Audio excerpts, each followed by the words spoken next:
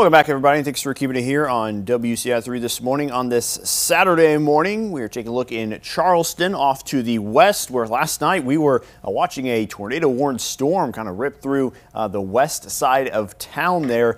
And uh, that storm was kind of the big one of the nights. That was one of the few that we know for sure did produce a tornado in it. Uh, what I'm going to do here for a little bit is just kind of take you through some of the damage last night, kind of catch uh, some of the highlights, some of the things that we saw. What we're going to do real quick though is just look right now at our satellite radar picture not a whole lot going on. That system well off to the east. I'm going to put this on a loop too so you can see that line just pushing through last night. And it looked like uh, nobody was really able to escape this line. There were severe warnings up and down the entire way. Maybe uh, the impacts were a little lesser in some spots than others, but pretty much a uh, even shot for everybody as that uh, line of storms moved on in. And one thing I want to bring up too is the storm reports. I'm just going to kind of comb through a few of these and just kind of show you a few highlights of the uh, evening. Uh, starting down here to our south around the Effingham County area. We had uh, a couple funnel clouds reported there just south of Effingham itself, but uh, the actual tornado producing storms happened up here around the uh, Shelby County, Cumberland County, and into uh, Coles County area.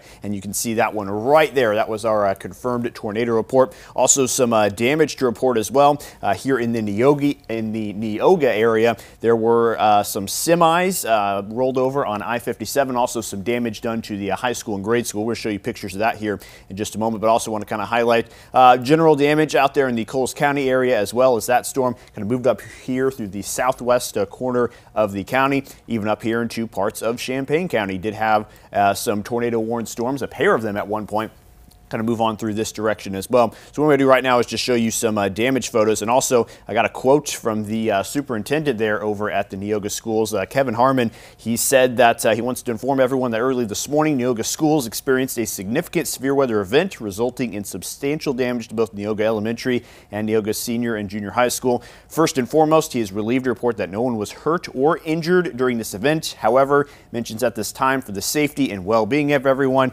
we ask that all community members, staff, staff and students stay off school property in order for uh, respective crews to uh, take care of uh, the damages there and assess things. You're seeing a few images there of the uh, grade school and the high school as well as the uh, ag department out that direction as well. So just some of those photos to pass along. Also one thing I want to share, our own weather garden took a hit last night. As you can see, some of our security footage recorded by one of our engineers shows the fence completely blowing through. So we were not spared of the strong winds here in Champaign County either. And I do want to update people on the power power outage numbers 50,000 across the state, including uh, 3,400 or so in Edgar County. Quick check of your seven day forecast. Not a bad day today. Still pleasant temperatures, but a little bit windy. We'll be right back.